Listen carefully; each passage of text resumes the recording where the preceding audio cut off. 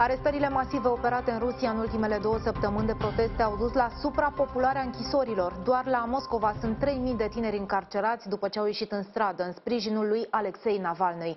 Pentru că nu mai au loc în închisorile capitale, oficialii ruși au mutat în jur de 800 de tineri într-un centru de detenție destinat imigranților, la 80 de kilometri de Moscova.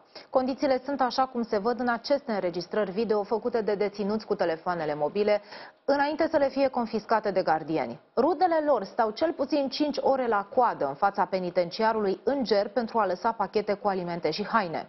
Tinerii le-au povestit acestora că audierile sunt o mascaradă. Mulți au primit pedepse de câteva săptămâni de detenție pentru participarea la proteste.